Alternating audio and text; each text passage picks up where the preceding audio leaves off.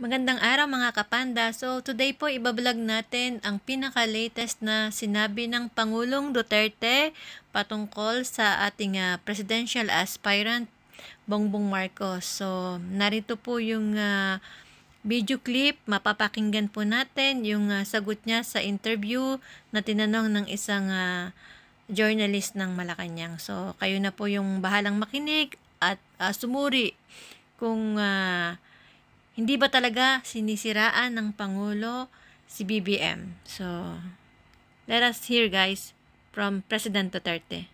To be a coalition between uh, PDDS, PDDS or PDP with Lakas CMD? No. No? No, I cannot uh, because uh, nandyan si Marcos. Eh. Hindi ako believe siya na he's really a weak leader. Kaya ako sabi ko, totoo yan, hindi ako naninira ng tao. Talagang weak. Kasi spoiled child, only son. Of course, he can talk. He delivers English uh, articulate.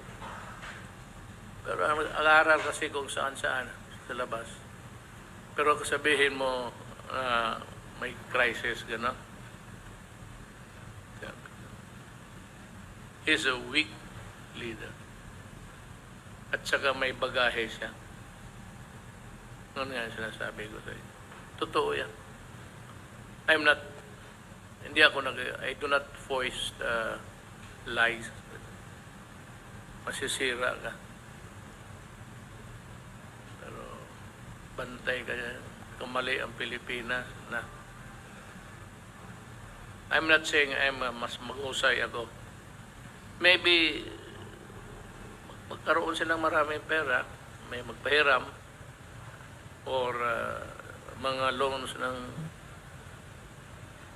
pwede yan sila. Pero kung sabihin mo yung governance, papuntang may gulo doon sa ano hulo, eh walang pumupunta doon.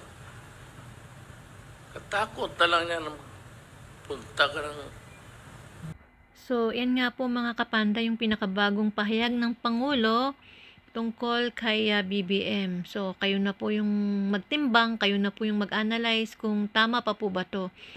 Kasi, um, ano pa kaya yung susunod na sasabihin ng Pangulo? Sino kaya yung mga taong nasa likod nito para masabi ng Pangulo to? 'Di ba? Natatandaan po natin, uh, last time pinupuri po ng Pangulo ang mga Marcos at ang mga, mga nagawa nito. So ngayon po ay nagkabaliktad na. So, yun nga lang po muna ang aking update sa ngayon. So, hanggang sa susunod, sama-sama po tayong uh, maging mapanuri, magbantay at uh, sumuporta po. Solid kay BBM Sara Tandem. Thank you po.